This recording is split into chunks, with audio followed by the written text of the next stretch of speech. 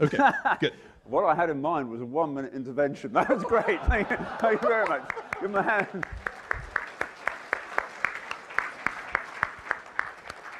I think he's trying to clone me, or vice versa. I can just go home. Okay, that's enough on cloning. Thank you. Thank you very much, Perry. Airtime, competition for airtime. Uh, the 80 20 principle. By the way, you can choose one of these six methods or you can choose three of them. I wouldn't recommend choosing six of them, but, but between one and three is, is a good number to choose. Um, the 80 20 principle is another way of doing it, obviously. And I don't really need to tell you anything about that because you've all read the books. so that's fine. But I mean, it really means concentrating on the most productive clients or the most productive, profitable products or the most productive ways of delivering the products. Um, and that turns the whole organization into one which actually is a hell of a lot simpler because it's doing fewer things. There's a kind of consistent theme here, isn't there? That you do less and you do less the more senior you are, which is great. And then there's automating, and I've chosen there what the South Africans, do you know what South Africans call this? What do you call these things here? Stop lights? Tra traffic lights? We call them traffic lights in England. In, uh, in, in uh, South Africa, they call them robots. it's fabulous, robots. I've always thought robot was, you know, one of these futuristic things where you have a factory and there's no people and there's dog and that's, that's all there is. But actually, robot's an old word which dates back to the invention of the stoplight. Um, and in the days before they had stoplights or robots, what do they have? And they still have in Latin America today, they have all these people with white gloves sort of waving the, the traffic on. And uh, I think robots are a very, very good expression for this. the point is to automate something. And to automate something means taking a service, and we're all, most of us anyway, not most of us, I dare say a good half of you at least, are in a service business. And it means turning that into a product. And in LEK, we uh, struggled to do this for quite a long period of time. But eventually, we came up with three products one was a straightforward portfolio analysis. The second product was what we called a relative cost position analysis, where you identified your competitors and at each stage in the value chain you identified what their costs were and what your costs were. Incredibly tedious work, but very, very valuable work, which we could sell for a lot of money in the days before other people found out how to collect data. Um, and the third product which we had was uh, analysis of acquisitions and uh, commercial due diligence eventually for the private equity business, which turned out to be a fantastic product for us. But my emphasis was always to say, you know, we are not going to do bespoke business. We will make it look as though it's bespoke business, and we will think about it, which is the most valuable thing you can do for, for making it bespoke. But actually, the engine of what we do is going to be these three products. And we're going to train people at each level to do a bit of these. And we turned it into a factory, essentially. And we called it the strategy factory. Um, and if you automate something, you can sell more of it because you say, oh, we'll sell them that. You know, you know what it is that you're going to sell. And you can deliver it at a much, much lower uh, cost not necessarily a lower price, unless you really have to, uh, but automating is a, a fantastic way to grow because you can do more of it with the same number of people. So you can grow and expand, but you can also have higher margins at the same time. And then the final way is to find a formula.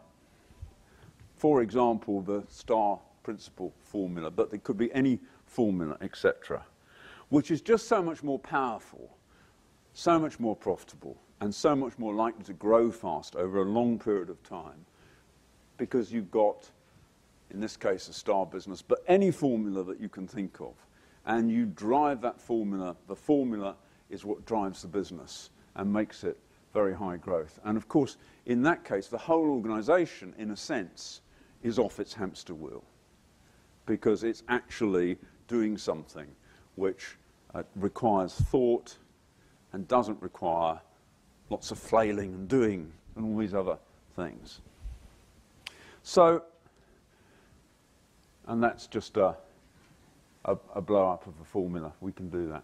So I'm going to ask you to think about this. I'm almost at the end of the presentation, so if you want to go and use the bathroom, hold on, just another 10 minutes. I want you to rank which ways you're going to use. If you're serious about getting off the hamster wheel, you can come up with your own way of doing it, and anyone that's got a seventh way or an eighth way or a ninth way or a twelfth way, I'd be very interested to, to hear that. But I want you to choose one of those as being your main way, and then maybe you have one or two supporting ways. So if we go back to that, basically, Bill Bain's way and Bruce Henderson's way was majoring on disciples, but Bill Bain made the pyramid very much an element of the organization, and um, both of them used formula as well. So, it's very simple. What I'm asking you to think about, what I'm asking you to ask yourself, is decide if you want to get off the hamster wheel and why it is you want to do that. You remember the three reasons to do it. One is to do other things, specific things that you want to spend your time on.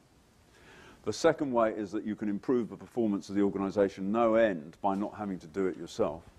And the third way is that you can create the value in the company exponentially greater by having an exit, which is when you exit from the business, it's a well honed machine to make money, and it is not an extension of your own personality. And then decide the three, way, three ways that you're going to use. But make no mistake about it, getting off the hamster wheel is not easy. If you try and do it, it requires non intellectual brilliance. It requires you to actually do it.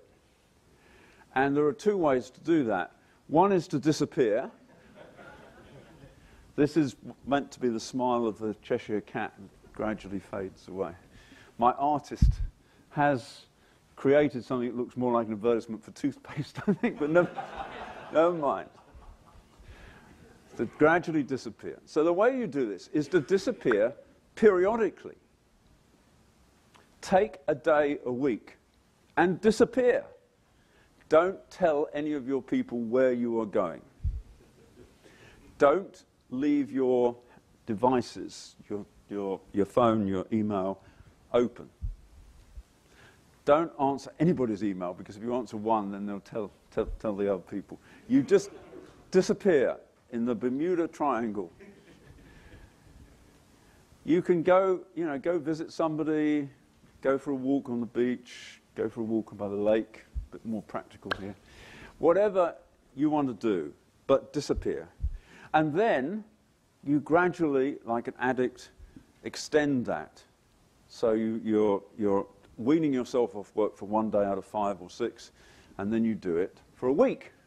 And then it's actually probably better to go somewhere because then you definitely won't be available and you make it clear to people that you are not available. So they have to make the decisions. They can save them up until you come back, but what you rapidly find is that they do more and more of what you were doing. You may not like it, as I say, but, but that is what getting off the hamster wheel means. I, I remember a conversation that I had with a guy called Paul Judge. Now, Sir Paul Judge, um, because he gave a whole bunch of money to start the Cambridge Business School. And um, he said to me, the formative experience of my life, Richard, was I went to Kenya. I said, oh, yeah. I went to Kenya as the head of Cadbury Schweppes in Kenya, which was a tiny, diddly squat little operation. It made no money because there was a 50% uh, sales tax, and we, being Brits, we told the government what we sold, and all of our competitors didn't. They said that they their sales were about a quarter of what they were. So we, we, could never compete effectively in this market. But anyway, I was the head of, of this business, I did that for three years. And he said, this, this is someone who was even older than me, believe it or not. There are, they do exist. Um, he said, in those days, a telephone call was an incredibly rare event. You had to book telephone calls days in advance, and the telephone lines to Kenya were not very good. And so he said, you know, that was a really, really exciting event when you got a telephone call. and he said there were no faxes, there were no email, uh, there was no way that anyone could contact you. And so I had to make decisions. I was 20, 27 years old or something like that, 25 years old, Paul Judge speaking. And it was a fantastic experience for me because nobody else could do it. I had to do it, and I couldn't ask head office what to do. And he said that's what gave me the confidence to run, uh, to start a buyout. They, he bought out um, the food business of Cadbury. And he made uh, about 300 million pounds, or rather, he and his friends made 300 million pounds selling it to Hillsdown Holdings four years later. And Paul's personal stake in that was about 45 million pounds, which I suppose is uh, about 60, 65, 70 million dollars. So, you know, basically this, and then he could become Sir Paul Judge by giving a bunch of that to the uh, Cambridge Business School. That's, that's fantastic. But the same principle applies that if you are not available, then inevitably you are increasing the responsibility and the experience and increasingly the confidence of the people when you're not there. So one strategy is to disappear progressively, and then eventually you disappear permanently.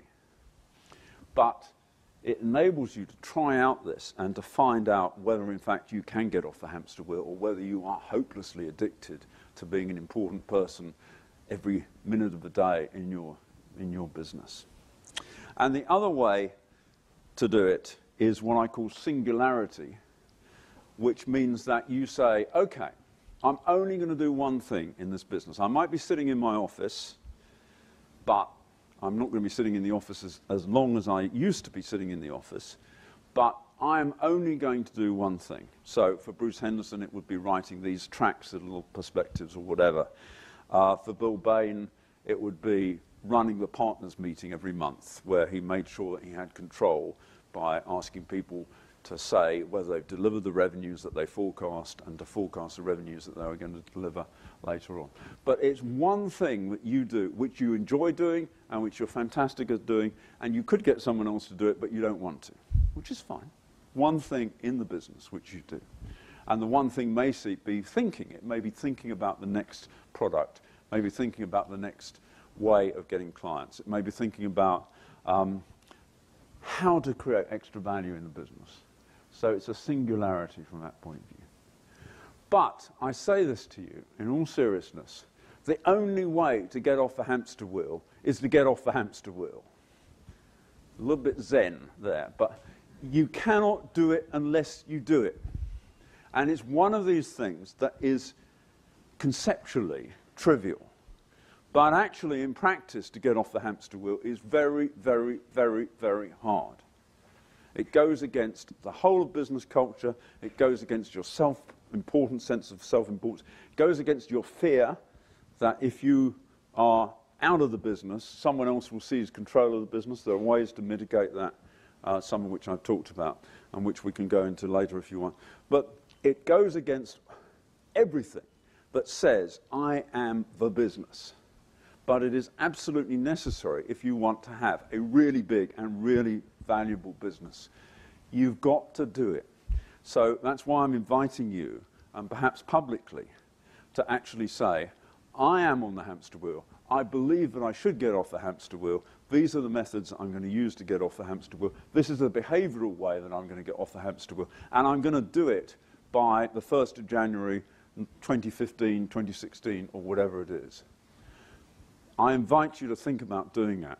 Because unless you actually do it, you will have had a nice little seminar here, but it won't actually transform your business. And if you want to do that, you've got to get off the hamster wheel if, in fact, you're on the hamster wheel to start with.